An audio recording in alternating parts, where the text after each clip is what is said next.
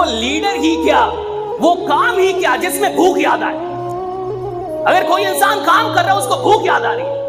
अगर कोई इंसान काम कर रहा है, उसको गर्मी लग रही है। कोई काम कर रहा है, उसको परेशानी हो रही है कि, सर, गर्मी बढ़ी है, एसी बढ़ा दो, ये कर दो, खाना। यानी साला घंटा काम ही नहीं कर रहा। काम करने का मतलब है, जब आप काम कर रहे हैं, साला दुनिया में कुछ भी याद नहीं आना चाहिए सिर्फ़ काम याद आ